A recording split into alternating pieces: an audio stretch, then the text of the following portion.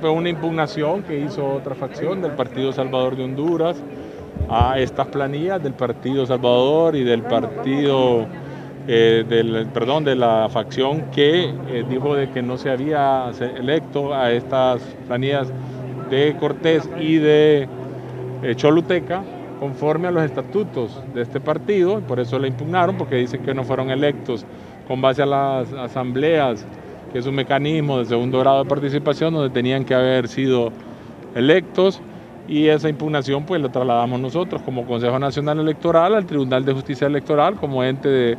de segunda instancia, como el órgano máximo en materia de justicia electoral. ¿Qué es lo que van a revisar? ¿Qué es lo que van a revisar? La, la sentencia, que es lo que resuelve, que es lo que manda, que este Consejo Nacional Electoral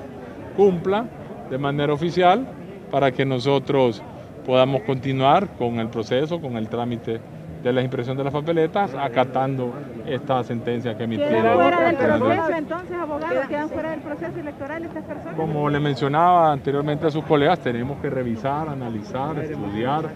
esta sentencia porque hasta el día de hoy, en la mañana, se hizo pública, no, no la han notificado de manera oficial, al menos a su servidor, por parte de la Secretaría General y es un asunto que se debe cometer, cometer al Pleno para que en el orden de precedencia eh, tome las decisiones que en derecho corresponda. En este caso, ¿cómo van a hacer con las impresiones, con las impugnaciones de ayer, el cambio de algunos, de algunos candidatos presidentes? ¿Cómo van a hacer con la impresión directamente en las imprentas si están estos problemas? ¿Cómo van a hacer?